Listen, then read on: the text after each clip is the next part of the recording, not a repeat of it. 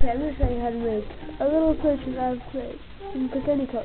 Just, just mold it into the shape of the body.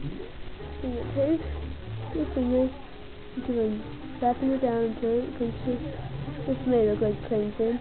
If you want to same thing from easy. Just, all you need is um need clay. But then you just gonna sculpt some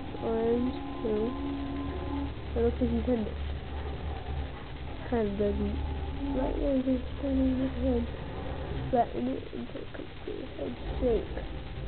And oh, it looks a little a dude.